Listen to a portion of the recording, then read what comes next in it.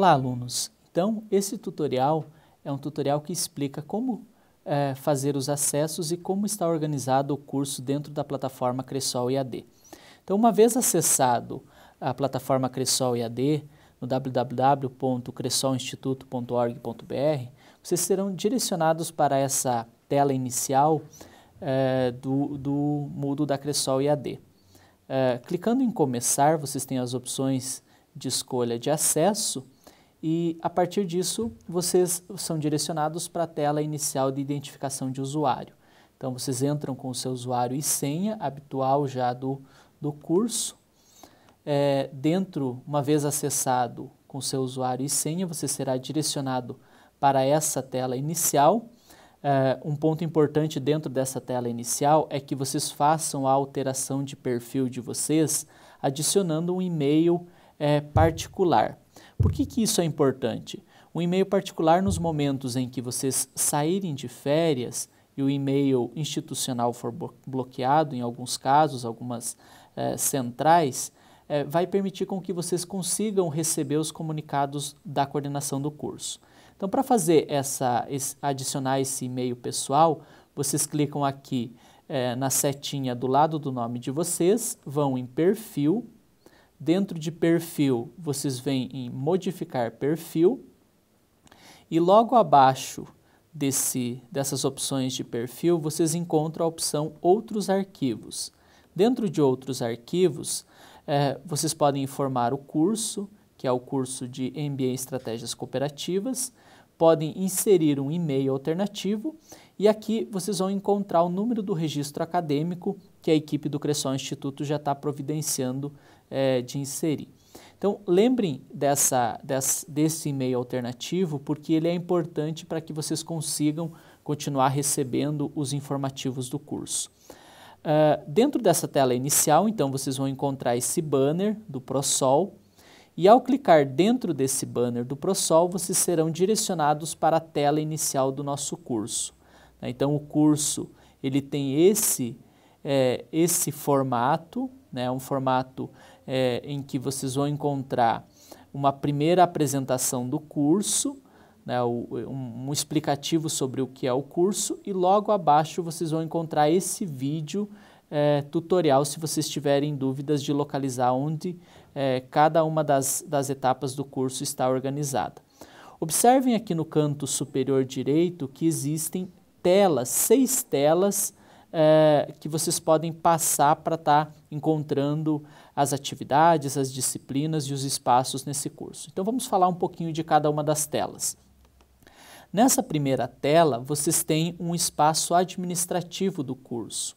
Dentro desse espaço administrativo, vocês vão encontrar três áreas: a área do aluno, a secretaria acadêmica e a área Fale com a Coordenação.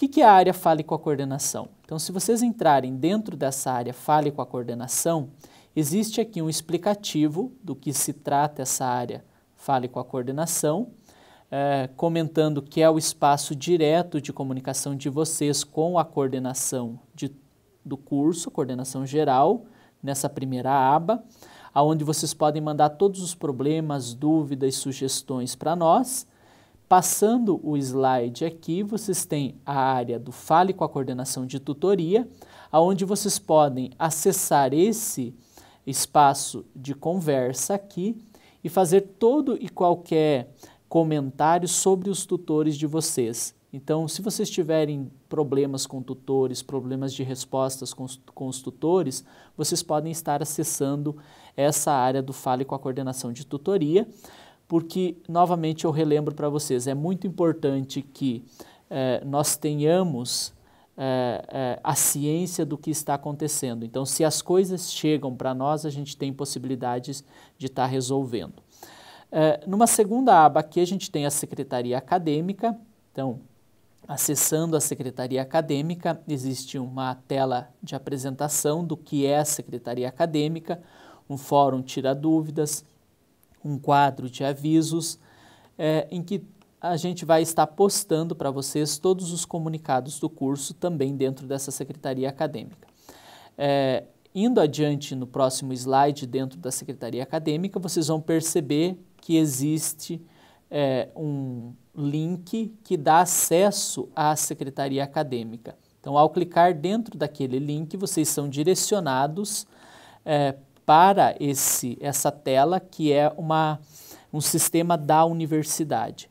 Dentro desse sistema, vocês podem fazer todos os tipos de solicitações, seja uma solicitação é, de prova em época especial, cancelamentos de matrícula, é, lembrando que os cancelamentos de matrícula devem ser tratados inicialmente dentro do Cressol Instituto, é, aproveitamentos de disciplina. Então, como que o acesso é feito? O acesso é feito pelo número do RA que vocês receberam nas aulas inaugurais, a senha de vocês inicialmente é o CPF de vocês e vocês escolhem a opção acessar via aluno online pós-graduação, tá? Uma vez acessado o sistema, vocês podem estar acompanhando, podem estar solicitando os serviços dentro da universidade. Tá? Existe aqui então também dentro desse espaço um vídeo tutorial mostrando como fazer esse acesso à secretaria acadêmica. Tá? Então qualquer dúvida que vocês tenham, vocês podem estar consultando. Uh, ainda dentro dessa secretaria acadêmica, vocês vão encontrar no slide 3 uh, o link para a secretaria acadêmica, duas instruções normativas que regem o nosso curso, então todas as normas e procedimentos estão dentro dessas instruções normativas, e um modelo de requerimento, esse modelo de requerimento ele é um modelo em Word, é, esse modelo em Word é um pedido que vocês fazem e fazem o scanner desse pedido juntamente com o atestado médico, juntamente com um, um, documento da sua chefia que atesta que no momento da prova, por exemplo, que você perdeu, você estava em serviço, ou atestado médico que comprova que você estava com alguma doença e não conseguiu, por exemplo, fazer uma atividade. E aí vocês anexam lá naquele espaço da secretaria acadêmica que eu comentei, e esse processo ele vem para nós, para nossa para a nossa avaliação, tá? Então, esse é o espaço da Secretaria Acadêmica para as solicitações de serviços dentro da universidade. O próximo espaço é o espaço da área do aluno. A área do aluno é uma área em que nós postamos vários comunicados e avisos sobre o curso. Então, todas as questões gerais de avisos de, do curso, você, a gente vai estar tá postando aqui. As dúvidas gerais do curso, vocês podem também está tirando nesses espaços no fórum Tira Dúvidas. Então, nós postamos dentro do fórum de notícias os avisos e as dúvidas vocês podem estar tirando dentro desse fórum Tira Dúvidas. Um, todas as dúvidas de disciplinas vocês encaminham dentro das disciplinas, tá?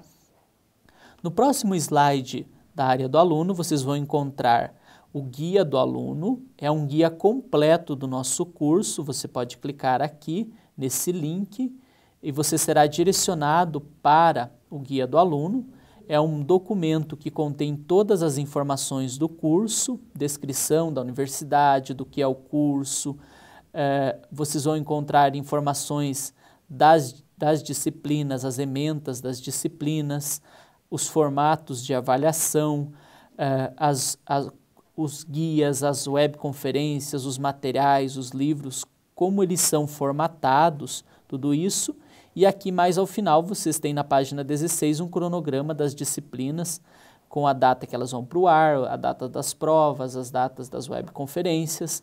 É, e aí mais abaixo vocês têm todas as ementas das disciplinas. Ao final desse guia do aluno vocês têm links úteis é, das plataformas, é, dos institutos de pesquisa para vocês se usarem na obtenção de, de dados para, para a realização do curso.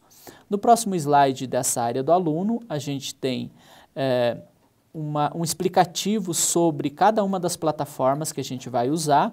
A plataforma habitual que vocês já usam, que é o Cressol EAD, onde a gente está projetando nesse vídeo, nesse vídeo tutorial. A próxima plataforma que é a Secretaria Acadêmica, que a gente acabou de falar, que é a secretaria onde vocês vão fazer as solicitações de serviços, vão solicitar os protocolos. Vocês têm a plataforma de TCC, que vocês vão usar lá no final do curso para elaboração do plano de negócios. E vocês têm a área do aluno, que é o local onde vocês podem estar consultando as notas de vocês, tá? dentro dessa, dessa plataforma.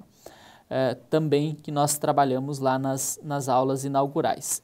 Se porventura vocês tenham perdido uma aula inaugural, nós disponibilizamos o vídeo da aula inaugural que aconteceu lá em Francisco Beltrão, foi a primeira aula inaugural, e nessa aula inaugural a gente explica detalhadamente cada um dos passos de acesso à secretaria acadêmica, o que é, é o acesso à área do aluno, como consultar as notas, o acesso à, à plataforma de TCC, como fazer, todos os procedimentos estão nesse vídeo aqui. É um vídeo bem longo, então ele existe um cronograma, um roteirinho que foi trabalhado, então é, busquem especificamente o tema que vocês querem é, resolver as dúvidas dentro desse vídeo.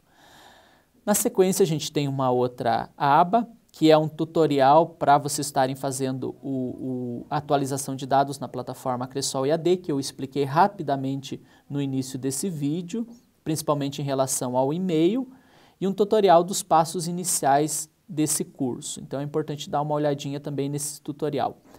E, na sequência, a gente colocou alguns materiais complementares, como o tutorial do Prezi, o tutorial do ISU, né? são materiais é, complementares que vão ajudar vocês nas pesquisas, na, na elaboração de apresentações, enfim. É, todos os materiais a gente vai estar postando dentro dessa área do aluno. Bom, então, voltando aqui para a tela inicial do curso, na sequência do espaço administrativo, a gente inicia aqui uma próxima tela, que é o espaço acadêmico do curso, ou seja, as disciplinas, primeiro as disciplinas de núcleo comum, que todos vão cursar até o final de dezembro de 2019. É, a partir de, do dia 12, nós já temos a semana de ambientação aberta. O que, que é essa semana de ambientação? A gente vai dar uma olhadinha rapidamente nessa semana de ambientação. A semana de ambientação é um espaço onde nós colocamos todos os possíveis materiais que os professores vão usar durante o curso. Então vocês podem observar que existem 13 telas aqui que falam desses materiais. Então, por exemplo, aqui na tela, na tela 2, ele vai falar do formato do livro, vai falar do formato do e-book, vai falar do formato dos vídeos, que é o que vocês vão encontrar nas disciplinas a partir de agora vai falar um pouquinho é, da plataforma Cressol EAD, como ela está organizada, do formato das disciplinas. É, e na sequência, a gente vai ter diferentes formas de atividades que os professores podem solicitar para vocês. Então, por exemplo, o que é um envio de arquivo? Então, antes de você chegar numa disciplina e um professor solicitar um envio de arquivo, essa semana de ambientação ela vai te ajudar exatamente nisso. Então vocês vão ter uma breve explicação do que é o envio de arquivo, um vídeo né, e um teste que vocês podem fazer de envio de arquivo. É, um fórum de discussão, uma explicação, um vídeo e um teste sobre um fórum de discussão. É, um questionário, um glossário, enfim, diferentes ferramentas que vocês vão entender o que são durante essa semana de ambientação, porque quando vocês chegarem lá nas disciplinas, quando o, o professor solicitar algum tipo de atividade, vocês já sabem quais delas, como fazer e como postar. É, os professores não vão solicitar todas as formas, ele pode se usar de uma ou outra ferramenta. Tá? Então, fiquem atentos a essa semana de ambientação, ela não é avaliativa, mas ela é uma a semana de grande importância para vocês entenderem o funcionamento do curso. Na sequência, nós vamos ter a primeira disciplina, que é a disciplina de introdução à distância. Ela inicia já no dia 23. Uh, eh, a professora vai trabalhar em três módulos essa disciplina. Cada módulo ele vai ter uma avaliação, uma atividade avaliativa, e no final desses três módulos a gente vai ter uma prova da, da disciplina. Da mesma forma, vocês podem é, ir é, passando os conteúdos aqui a partir dos slides. Então, este é um formato que vocês vão encontrar de disciplinas, que é um formato montado no formato de HTML. Um outro formato de disciplinas que vocês podem encontrar é esse formato no formato usual do Moodle, que é um formato onde a gente tem É, só estou usando um exemplo de um outro curso que a gente trabalhou no passado, só para vocês entenderem a diferença. Né? É um formato onde a gente tem as unidades aqui em abas, nessa, nessa parte de cima aqui da disciplina. Mas tanto nesse formato em abas como no formato HTML que eu acabei de mostrar para vocês, as disciplinas elas estão organizadas em unidade. Após o final da disciplina, sempre na, no final da disciplina encerrando na segunda-feira, na quinta-feira da mesma semana vocês têm uma webconferência ao vivo com o professor, que ele vai esclarecer as dúvidas de vocês. Toda semana vocês têm um horário de, de chat ao vivo com o professor para vocês tirarem dúvidas. E na sexta, sábado e domingo, no final da disciplina, vocês têm a avaliação da disciplina. Aqueles que não conseguirem a nota necessária para aprovação têm uma atividade complementar que pode é, proporcionar para vocês um, uma nota complementar para, para chegar na nota 7, que é a nota necessária para aprovação. E lembrem-se sempre, após finalizar uma disciplina, é sempre importante vocês fazerem a avaliação institucional.